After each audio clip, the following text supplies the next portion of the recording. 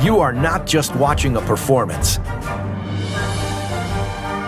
You are witnessing a culture reborn. Now, you'll see what the modern world has never seen China before communism. Live on stage, Shen Yun.